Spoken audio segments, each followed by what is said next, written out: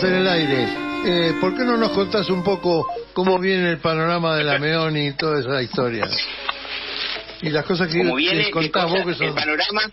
de la Meoni, ¿El digo. panorama de Italia? Sí, claro. Sí, bueno. Eh, Italia es tropical, en tanto. Calor, calor y mucho calor. Eh, te cuento, hay cosas muy serias y cosas no tanto serias. En este momento, digamos que el país está en el medio de una polémica generada por el ministro de Justicia que pretende nada más y nada menos que sacar de los delitos perseguidos por la justicia italiana, sacar lo que se llama el concurso externo en mafia.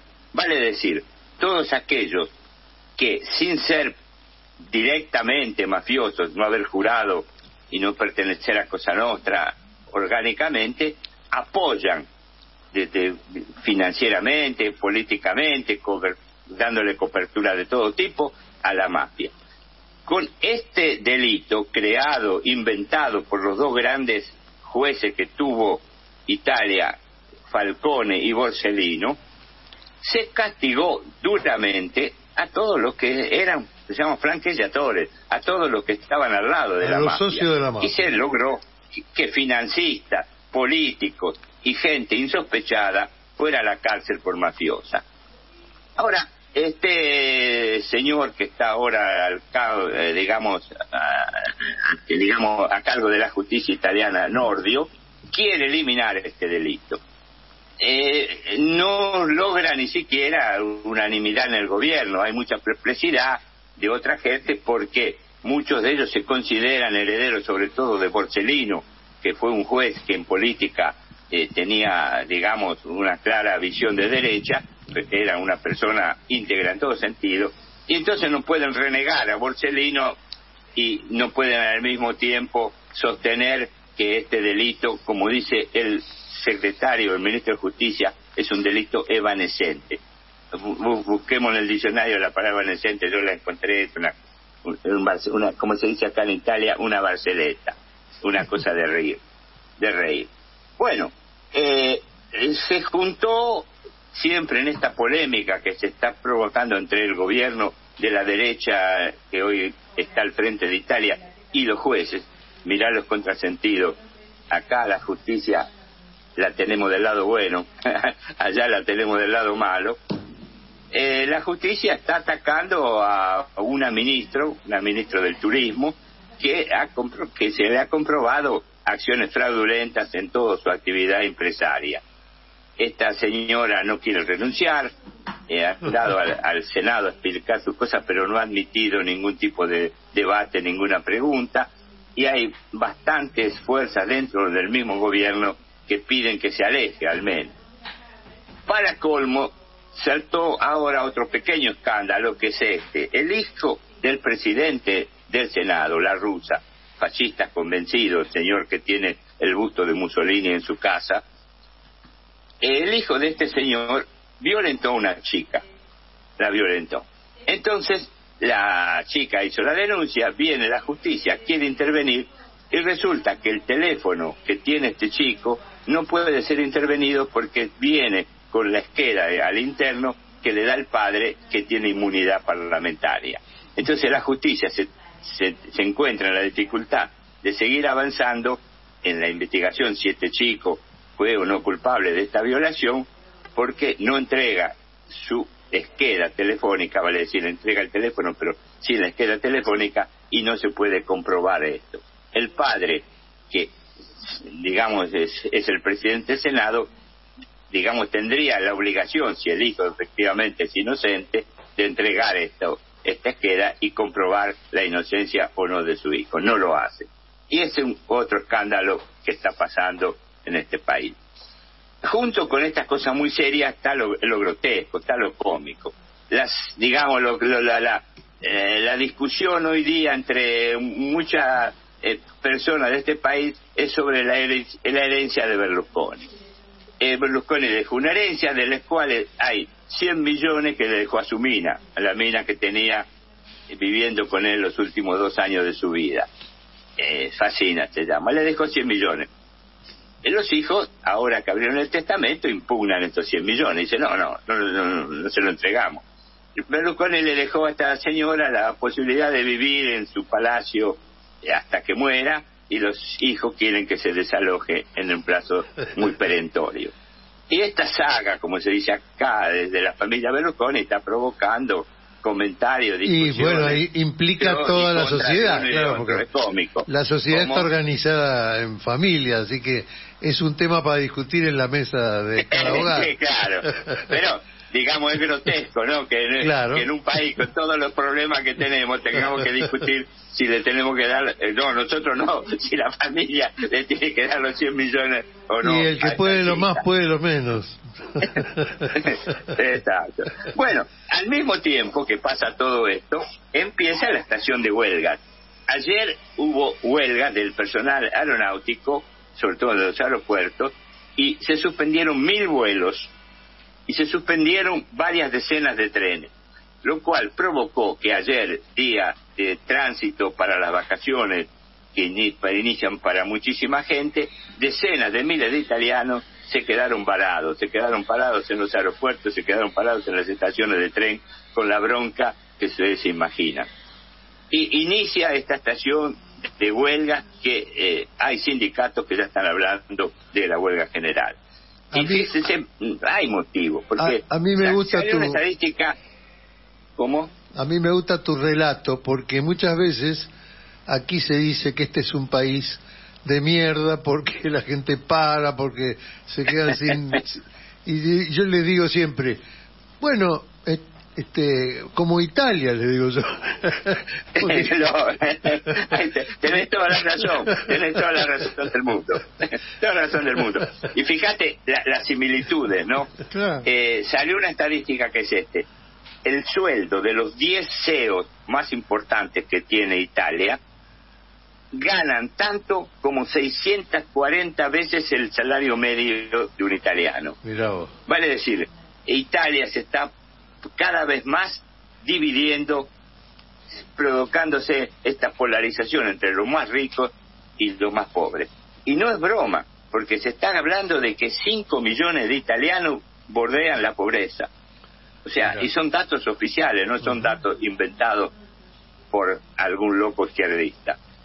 Entonces, eh, eh, eh, pasan cosas increíbles. Por ejemplo, el gobierno de la derecha sacó lo que se llama el rédito de citadinanza, vale decir, había un, te daban una carta de crédito por el cual vos podías, eh, cada familia pobre, cada familia que tenía, no llegaba con su rédito al salario mínimo, a la canasta mínima, tenía una ayuda del Estado que les permitía capear el temporal, llegar a fin de mes con al menos comiendo. El gobierno de derecha dijo, no, esto hay que sacarlo, los planes sociales no sirven, sacamos los planes sociales, son los vagos de siempre, no quieren trabajar, etcétera, etcétera. Y sacó esto que costaba 965 millones de euros. Lo sacó, perfecto. Dos días atrás aprobaron el gobierno este reconstituir otra vez el vitalicio a los senadores. Vale decir, los senadores que un tiempo habían estado en el Senado, tenían antiguamente derecho a un vitalicio. El gobierno de las cinco estrellas, un gobierno izquierda, lo sacó. Es un sueldo vitalicio, digamos. Una aberración. Y este ahora se lo volvieron a poner y son 800 millones que tiene que gastar el Estado para darle. Claro, para eso le sacaron a los otros. Para eso le sacaron a los pobres. Claro, exacto, exactamente. Para la crema de, la política. eso, es el sentido de lo que yo te quería y sacaron y, bueno, eh, y la última que les quería comentar, porque realmente es, es, trágica, es, trágica en todos sentidos, es, ustedes saben que después del COVID y de, los desastres que provocó en la economía de tantos países de Europa, eh, vino una especie de, de, digamos, de idea social, la idea de que los países más ricos, los que menos sufrieron, pudieran ayudar a los más pobres. Y se creó un fondo de ayuda. por primera vez solidaria, vale decir, Europa se hizo solidaria en bloque, no cada país, en una deuda que se tomaba con los grandes este, inversionistas para ayudar a la economía de distintos países, pero ayudarla desde el punto de vista de cambiar las estructuras, de cambiar eh, digamos, los aspectos fundamentales, educación, sanidad, este, puentes, etcétera, etcétera. Bueno, esto funcionaba así. Ahora, en el Parlamento Europeo acaban de aprobar que una parte a discreción de cada gobierno puede ser comprada, puede ser usada para comprar armas, para poder ayudar en la guerra de Ucrania. Vale decir, totalmente fuera del contexto con que este fondo solidario se aprobó. Se aprobó un fondo para desarrollar, el, digamos, la economía, desarrollar socialmente los países, y ahora se usa parte de ese fondo para comprar armas con gran beneplácito de, la, de, la, industria de guerra. Apriete de Estados Unidos a Italia. Exacto. Eh, van a comprar ahí las armas fundamentalmente, claro. Así es. Eh, curioso, curioso, el Partido Democrático, que es el partido que dentro del centro izquierda tiene la mayor cantidad de, votos, votó en Italia contra esto, en el Parlamento Euro, eh, italiano votó contra esta posibilidad. En el Parlamento Europeo votó a favor y permitió también que pasara en Europa esta se llama bueno esas son las cosas más interesantes se llama socialdemocracia eso exacto la izquierda florida Muchísimas bueno, no sé gracias. Si hay algo más que les quiera. No, no, ya me encantó, me encantó, me encantó, de, fútbol no podemos hablar porque está todo parado. De, de todas maneras, ya hablamos.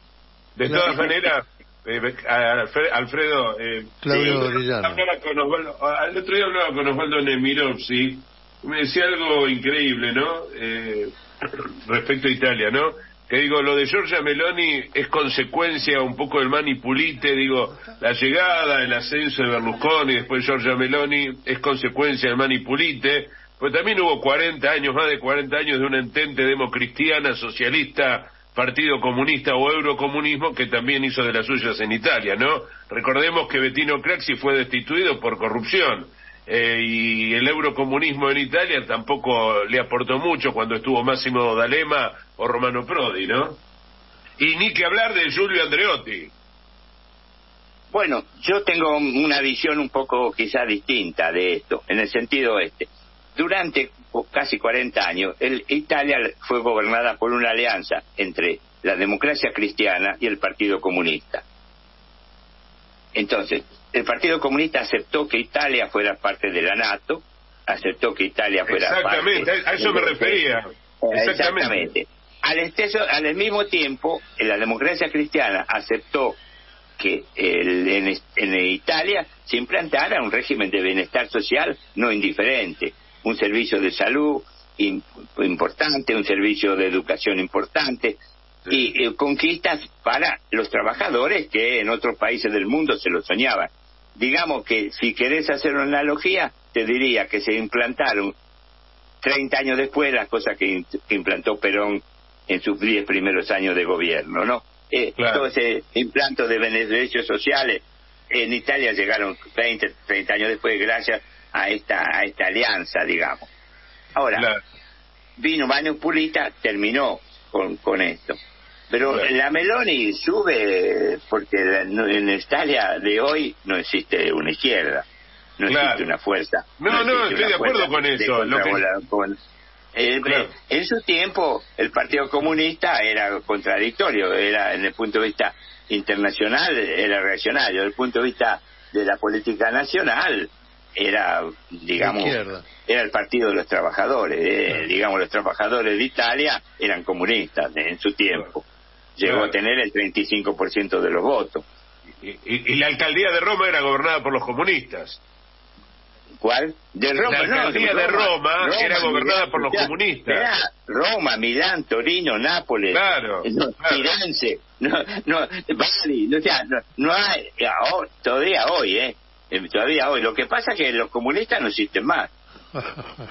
Los comunistas no existen más. Eh, Ni existe más un partido socialista serio, no existe más. No, no, y digo, y Julio Andreotti y sus vínculos con la mafia, ¿no?